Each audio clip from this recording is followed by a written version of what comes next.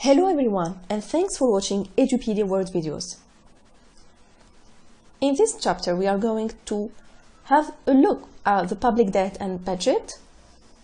For that we are going to talk about the public debt and budget, the objectives for public debt, then we are going to focus on the reported sources, the classification, the redemption and the methods of repayment of public debts. So let's get started. Among the non-tax sources, the major source of revenue of the government is public debt. That is borrowing. It may either be internal or external debt. When the government raises revenue by borrowing from within the country, it is called internal debt. Similarly, if the government is borrowing from the rest of the world, it is a case of external debt. According to Philip Taylor, the debt is the form of promises by the Treasury to pay to the holders of these promises a principal sum and, in most instances, interest on the principal. Borrowing is restored, resorted to provide funds for financing a current deficit. Till the beginning of the 20th century, state performed only very limited functions maintenance of law and order, protection of the country from external attack, etc.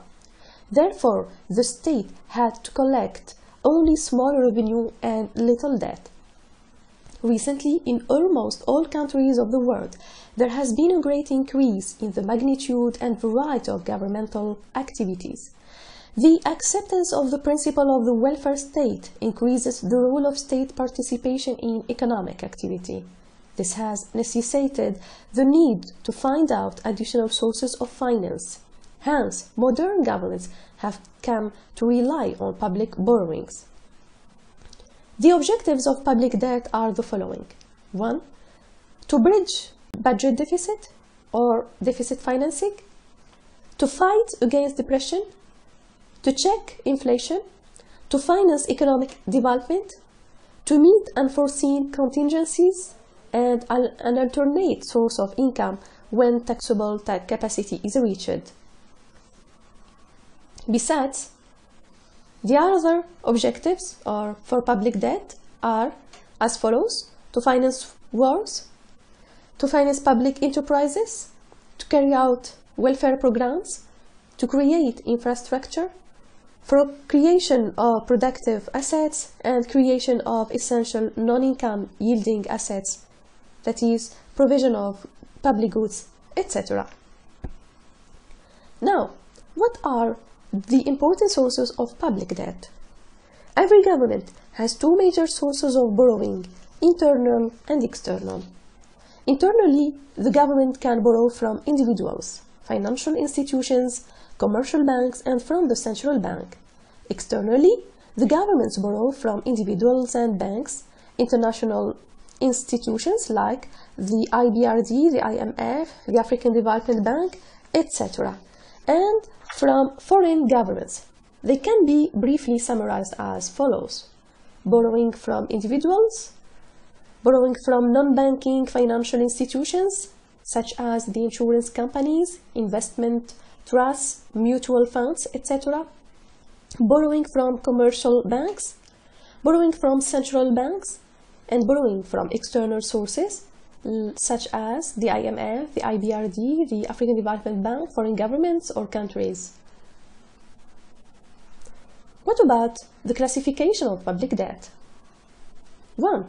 We have the voluntary and compulsory on the basis of legal enhancement Voluntary debt is the debt which is paid and illegal enforcement, whereas compulsory debt is legally forced in nature.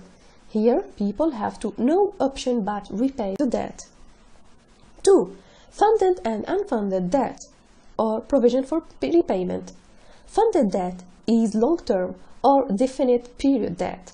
A proper agreement and terms and conditions of repayment with the percentage of interest payable are declared. They are used for creation of permanent assets. Unfunded debt is for a short term and for indefinite period. It is paid through the income received from other sources. These are used for meeting current needs. 3. Internal and external debt. When the government raises revenue by borrowing from within the country, it is called internal debt. Whereas, if the government is borrowing from the rest of the world, it is case of external debt. 4. Productive and unproductive purpose of loans. Loans on projects yielding income, construction of plants, railways, power schemes, etc. are called productive debt. Loans on, lo on loan, non-income yielding projects are called unproductive loans, such as war, famine, relief, etc. 5. Redeemable and irredeemable loans. Promise to repay. Redeemable debts refers to the loan which the government promises to pay off at some future date. Principal, of course, plus interest. Irredeemable debts are those principal amount of which are never returned by the government but pays interest regularly. 6. Short, medium and long-term loans. And here we are going to focus on the time duration Indeed, short-term loans are usually incurred for a period varying from three months to one year. Usually, governments get such loans from the central bank by using treasury bills. These loans are called ways and means of advances. Medium-term loans are those which are obtained for more than one year but less than 10 years. And long-term loans are those which are obtained for more than 10 years. These are used to finance development activities. Here we can give the example of the line of credits given by the European Investment Bank. Let's talk about, about the redemption of public debt. Redemption of public debt means repayment of a loan and it is an important responsibility of the government all government loans should be repaid promptly. It is therefore necessary that the provision of repayment should be inherent in the scheme itself. Let's see the advantages of debt redemption. Well, it saves the government from going into bankruptcy. It checks extravagance on the part of the government it preserves the confidence of the lenders and it makes easy for the government to float future loans.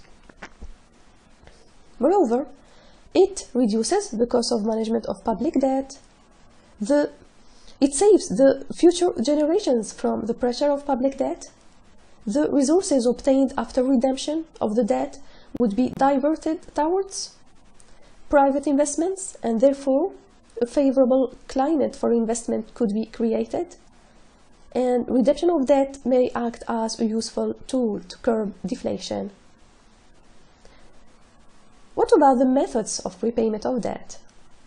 First of all, we have the repudiation. It means refusal to pay a debt by governments. This method was followed by the USA after the Civil War and by the USSR after the 1917 revolution. This method is undesirable, of course, and has not been used recently anywhere in the world.